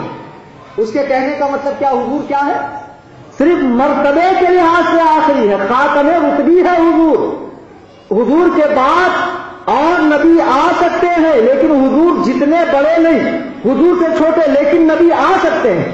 حضور سے پہلے بھی جو نبی آئے، وہ بے شک حضور سے پہلے آئے، لیکن مرتبے میں حضور سے۔ تو وہ یہ کہہ رہا کہ اگر حضور پہلے آتے باقی کے انبیاء بعد میں تب بھی حضور آخری نبی ہوتے، اس لیے کہ حضور خاتم رتبی ہے، خاتم زمانی نہیں ہے۔ جبکہ ہمارا عقیدہ کیا ہے؟ ہمارا آپ کا حضور خاتم رتبی بھی ہے، خاتم زمانی بھی ہے، خاتم مکانی بھی ہے۔ کتنے خاتم ہیں حضور؟ خاتم رتبی، خاتم مکانی خاتم زمانی۔ ہر لحاظ سے تمام مراتب عالیہ و اولیا اللہ نے میرے آقا کریم پر ختم فرما دیا ہے۔ میرے آقا کریم پر فرما ختم فرما دیا ہے۔ اچھا اور سنیں۔ اسی کتاب میں اس کے دوسرے اس سے بحث نہیں ہے۔ سفا نمبر بیس پر لکھتا ہے۔ اب یہ تو شروع بات تھی۔ لفظ خاتم کا معنی بتانا کہ حضور تو صرف مرتبے میں خاتم ہے ورنہ نبی تو آتے رہیں گے۔ آ کے لکھا، اسی طرح فرض کیجیے آپ کے زمانے میں اس زمین پر یا آسمان میں کوئی اور نبی ہو، تو وہ وصف نبوت میں آپ ہی کا محتاج ہوگا۔ قاسم نانوتوی دیوبندیا حجت الاسلام، بانی و فاؤنڈر دارالعلوم دیوبند، کھلے کھلے لفظوں میں کہہ رہا کہ اگر حضور کے بعد بھی نبی آئے تو وہ حضور سے فیض لے کر نبی بنے گا، لیکن نبی آ سکتا ہے۔ اور اس کا سلسلہ نبوت بہر طور آپ پر مختم ہوگا۔ دیکھو، یہ سات سات حضور کے آخری نبی ہونے کا انکار کر رہا ہے۔ آگے لکھتا ہے، اگر بال فرض آپ کے زمانے میں یعنی جس وقت حضور دنیا میں ظاہری طور پر حیات تھے، کہتا دل فرض آپ کے زمانے میں کہیں اور کوئی نبی ہو جب بھی آپ کا خاتم ہونا بدستور باقی رہتا ہے، عجیب بات ہے کہ حضور تو آخری نبی ہے اور آپ کے زمانے میں کوئی نبی آئے اس زمین پر یا اور نیچے کی سات زمینوں پر یا آسمان پر کوئی نبی آئے تب بھی حضور کیسے آخری نبی ہوں گے؟ تو مولانا کہنا چاہ رہا ہے کہ حضور صرف مرتبے میں آخری ہے خاتم زمانی اور مکانی نہیں ہے، یہ کہنے کا مطلب ہے۔ اس نے کھلے کھلے لفظوں میں ختم نبوت کا انکار کیا ہے۔ اور اس سے کہیں زیادہ اس نے ایک آخری عبارت پڑھ دوں، سطح نمبر چالیس پر لکھا ہے بل فرض بعض زمانہ نبوی کوئی نبی پیدا ہو، پھر بھی خاتمت محمدی میں کچھ فرق نہ آئے گا چھ جائے کہ آپ کے معاصر یعنی سرکار کے ہم زمانہ کسی اور زمین میں یا فرض کیجیے اسی زمین پر کوئی اور نبی تجویز کیا جائے، کھلے کھلے لفظوں میں خباستوں کا خمیر دو بندی جماعت کا سریل اور بدبودار امیر، ملا قاسم نانوتوی حضور علیہ السلام کے بعد نیا نبی پیدا ہونے کا عقیدہ امت مسلمہ کو دے رہا ہے۔ کلیجے پر ہاتھ رکھ کر بتاؤ مسلمانوں، سرکار کی تین سو احادیث ہے۔ اللہ کے نبی کے بیٹے حضرت ابراہیم کا انتقال ہوا، سرکار کی آنکھیں بہنے لگی۔ ابو ہوا کہتے ہیں، اللہ نے اللہ کے نبی فرماتے ہیں کہ خدا کی مسیحت دیکھو، اگر میرے باپ کسی نبی کو کسی نبی کو بھیجنا ہوتا، تو اللہ میرے باپ میرے بیٹے کو زندہ رکھتا۔ اللہ نے میرے باپ میرے بیٹے کو زندہ نہ رکھا۔ میرے باپ کوئی نبی نہیں آنے والا ہے، کیونکہ دنیا کا دستور یہ ہے، جب کوئی پیر مرتا ہے اس کا بیٹا جانشین، کوئی مدرسے کا سربراہ اعلیٰ چل بستا ہے، اس کا بیٹا سربراہ اعلیٰ، کوئی بڑا عہدے دار مرتا ہے، اس کی جگہ اس کے بیٹے کو بناتے ہیں۔ اللہ تبارک و تعالیٰ کی مشیت نے جان لیا کہ کہیں میرے نبی کے دنیا سے جانے کے بعد ان کے بیٹے کو لوگ تختے نبوت پہ نہ بٹھا دے۔ اسی لیے اللہ نے آپ کے تمام بیٹوں کو بچپنے کی حالت میں ساتھ دے دی اور سرکار نے اپنے پیارے نوازے کو فرمایا، حسین ملنی وہ آنا حسین حسین سے ہے میں حسین سے ہوں جب اللہ نے سرکار کے سارے بیٹوں کو اٹھا کر ہر طرح کے امکان کے امکان کو، ہر طرح کے زاویے کو، ہر طرح کے وسوسے، شوشے اور گوشے کو بند کر دیا، تب بھی دو بندیوں کا امیر کہتا ہے، حضور کے بعد نیا نبی پیدا؟ لو، کر لو بات۔ کتاب، یہ کتاب دی دودھ پاک پڑھے اللہ۔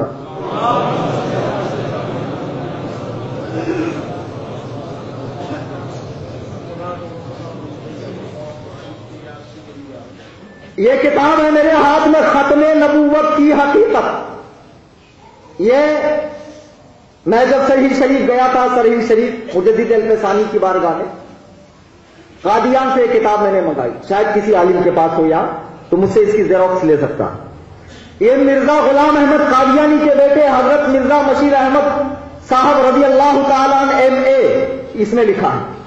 یہ اس خبیز نے کتاب لکھی ہے۔ اب یہ کتاب چھپی ہے۔ شعبہ نشو و اشاعت، نظارت و دعوت و تبلیغ، قادیان انڈیا، پن کوڈ چودہ پینتیس سولہ۔ پن کوڈ کے ساتھ۔ اس کتاب کا نام ہے ختم نبوت کی حقیقت۔ اچھا اس کتاب میں اس نے سرکار کے خاتم ہونے کا نئے نئے معنی بیان کیے۔ نئے نئے معنی۔ اس کا مطلب مہر، تو مہر یہ کہ اللہ نے نبی سے پہلے جو نبی آتے تھے اللہ بناتا تھا، پھر ہمارے آقا کو اللہ نے وہ مہر دے دی۔ آپ اسٹام لگاؤ، نبی بناؤ۔ ایسے ہی میرا باپ بھی نبی بن گیا، نبی نے اس کو اسٹامپ لگا دیا۔ تو وہ دلیلیں دیتے دیتے دیکھو، اس نے سفا نمبر ایک سو نبے پر دلیل دی۔ سفا نمبر ایک سو نبے پر مرزا غلام احمد قادیانی، متنبی، نبی نہیں، متنبی، چھوٹا نبی۔ اس کا بیٹا مرزا بشیر احمد لکھتا ہے کہ ہم اس زمانے میں داخل ہوتے ہیں جو گویا ہمارا زمانہ ہے۔ حتیٰ کہ اس زمانے کے بزرگوں کو دیکھنے والے کئی لوگ اب تک زندہ ہوں گے۔ اور چونکہ جو شہادت میں اس وقت پیش کرنے لگا ہوں، وہ باوجود زمان موجودہ زمانے سے تعلق رکھنے کے حضرت مسیح معود بانی سلسلہ احمدیہ علیہ السلام کے دعووں سے چند سال پہلے کی ہے۔ اس لیے اہل بصیرت کے نزدیک اس شہادت کو خاص وزن حاصل ہے۔ یہ شہادت مدرسۃ مدرسۃ العلوم دیوبند کے پانی حضرت مولانا محمد قاسم نانوتری رحمہ اللہ وفات اٹھارہ سو انبے کی ہے۔ دیکھو، مرزا غلام قادیانی کا بیٹا اپنے باپ کے نبی ہونے کی دلیل کہاں سے پیش کر رہا ارے بولو۔ کہاں سے لا رہا؟ دیوبندی دیوبندی ایک فتنہ نہیں ہے ام الفتن ہے ام الفتن اس کے پیٹ سے کتنے جنم لیتے ہیں۔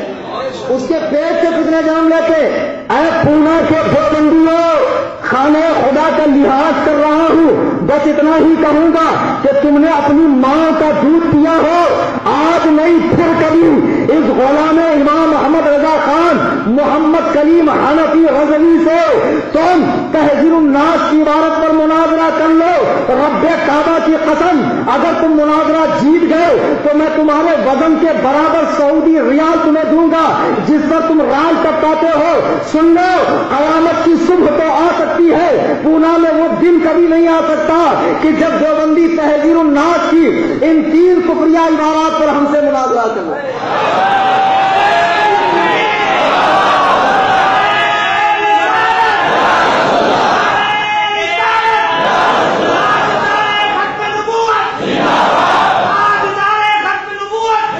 زندہ باد زندہ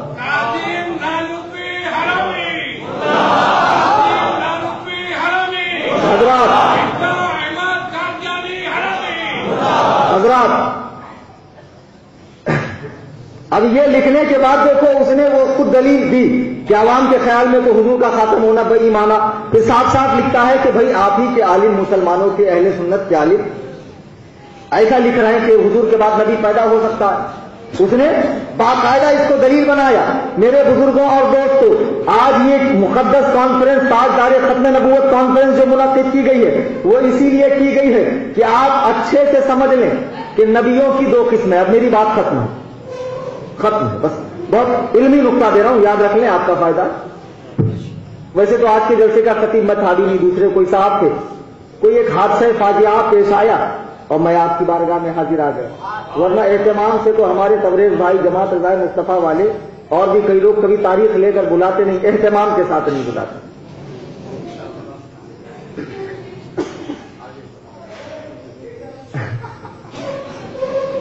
حضرات نبیوں کی دو قسمیں ہیں۔ کتنی؟ ایک ہوتا ہے نبی تشریح۔ ایک ہوتا غیر تشریح۔ نبی تشریحی نبی غیر تشریح۔ یہ دو ہی قسم کے نبی ہوتے ہیں۔ تیسری، چوتھی، پانچویں کوئی قسم نہیں۔ اچھا یہ دونوں کا فرق کیا ہے؟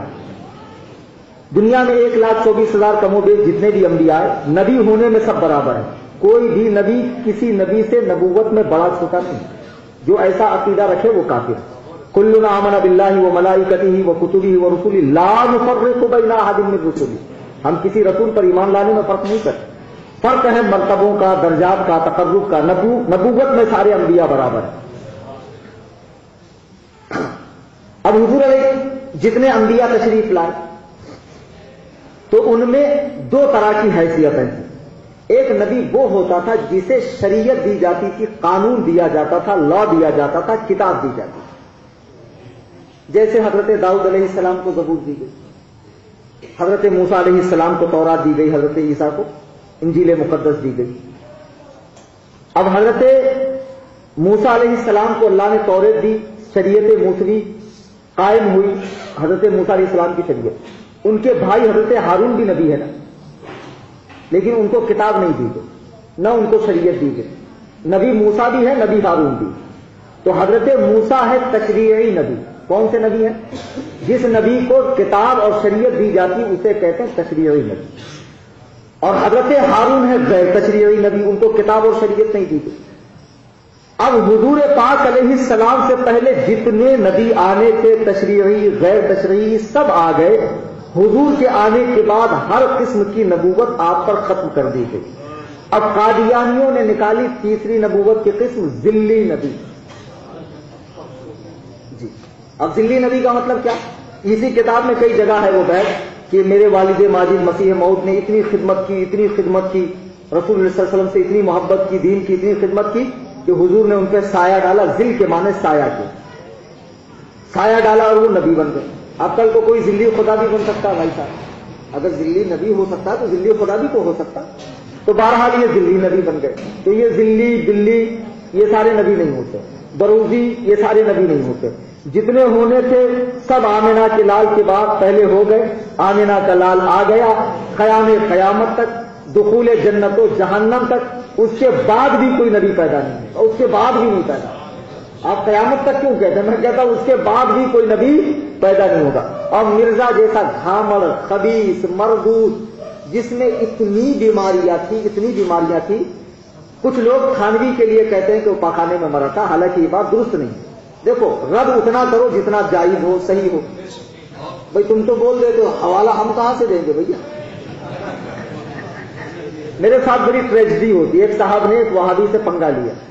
اور لینے کے بعد کیا کہا؟ ہاں میرے مفتی صاحب ثابت کریں گے گیارہویں قرآن سے۔ میرے میرے بارے میں کہا۔ اب اس نے وہابی کی تو بات سے کھل گئی۔ تو اس نے کہا، ٹھیک ہے، لکھ کر دے۔ اس نے لکھ کر بھی دے دیا۔ مجھے کہہ رہا، حضرت، چلیے مناظرہ کرنا۔ میں نے کہا، کس سے بولے وہابی سے؟ میں نے کہا، کس ٹاپک پہ بولے گیارہویں پہ؟ تو میں نے کہا، دلیل کہاں سے دلی؟ بولے قرآن سے دے دی۔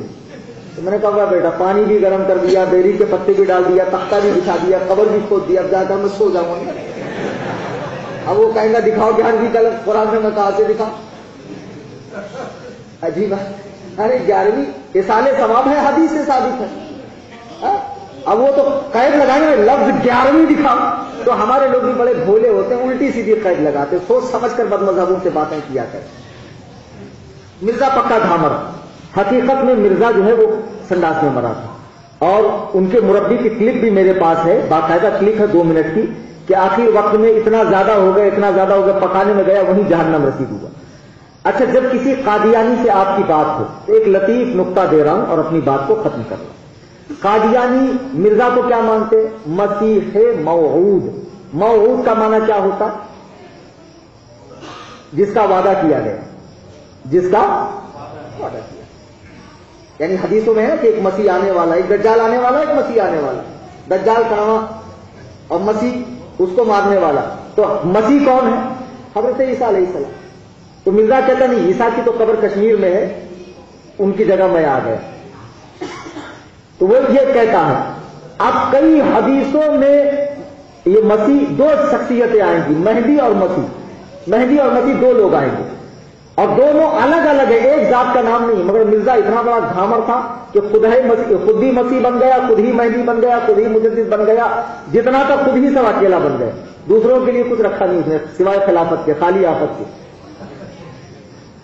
سارا کے سارا خود کریڈٹ لے لیا۔ مہندی الگ شخصیت ہے اور عیسیٰ الگ شخصیت۔ یہ دونوں ایک شخصیت کا نام ہے۔ الگ الگ شخصیت۔ اچھا پھر حدیث میں ہے، آپ جب مرزائیوں سے بات کریں، چلو یہی مسیح ہے جس کو تم کہتے ہو۔ تو حدیث میں تو ہے کہ مسیح سلیب کو توڑے گا، سور کو کاٹے گا، دنیا سے سارے کفار ختم ہو جائیں گے، ہر طرف اسلام کی حکومت ہوگی، شادی ہوگی، پھر مسیح کا انتقال ہوگا، وہ کہاں دفن ہوں گے؟ حضور کے پڑوس میں، حضور کے پہلو میں دفن ہوں گے۔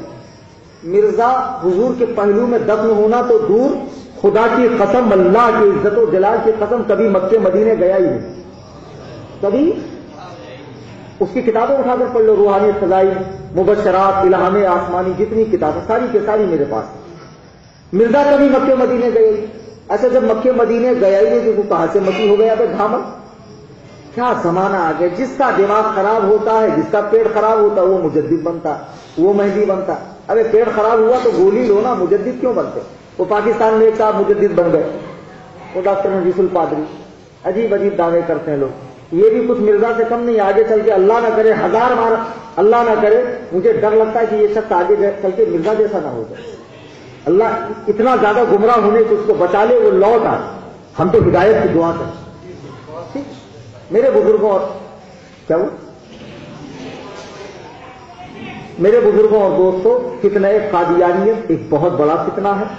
اور اسی طرح دیوبندیت، اہل حدیث، یہ سارے فتنے ہیں۔ اور ان فتنوں کے قریب لے جانے والا ایک فتنہ جس کو صلح کلی کہتے ہیں، کوئی بھی ڈائریکٹ وہابی دیوبندی شیعہ نہیں بنتا ہے، پہلے وہ نرم پڑتا ہے۔ جیسے آم پہلے نرم ہوتا ہے، پھر سڑتا ہے۔ پہلے پلپلا ہوتا ہے پھر سڑتا۔ ہے ایسے ہی انسان بھی پہلے پلپلا ہوتا ہے نرم ہوتا ہے رد وہابیہ برا لگتا ہے۔ اور پھر دھیرے دھیرے وہ وہابی دیوبندی قادیانی ہوتا۔ ہے یہ ہونے سے بچو۔ اور یہ ہونے سے کیسے بچو گے؟ جب حقیقی معنوں میں مسلک اعلی حضرت پر آپ قائم